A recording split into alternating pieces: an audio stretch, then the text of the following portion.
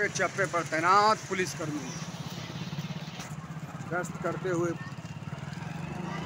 भारी संख्या में पुलिस बल एस और डीएसपी के साथ। अरे यार।